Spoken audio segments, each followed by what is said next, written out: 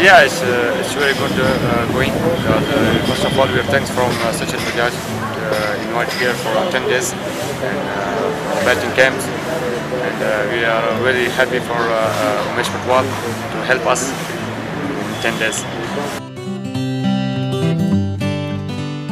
Uh, yeah, it's very good uh, academy and uh, all of uh, English counties players come here and uh, practice here, learning from uh, some something for uh, spinners and also uh, good coach uh.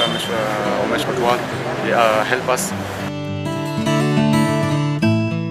Uh, six players there, main batsmen come here and learn something from uh, Umesh Patwal, uh, some techniques and uh, some uh, spinner techniques. Uh, we are uh, some weak for uh, spinners to take how how can to take the spare for uh, single runs. They, uh, the technique is very good uh, now. We are, we are playing uh, in the last day uh, match. Uh, it's very good for us.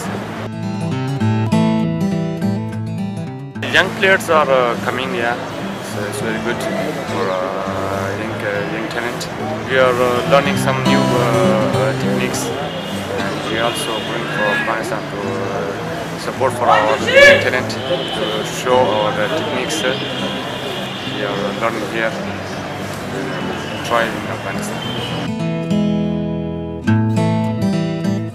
Uh, under 16 or 17 is uh, best for the GCS and uh, learning uh, very easy for uh, for the under 16 or 17 the basic sk- skills. And uh, if you they, learn basic skills they will run for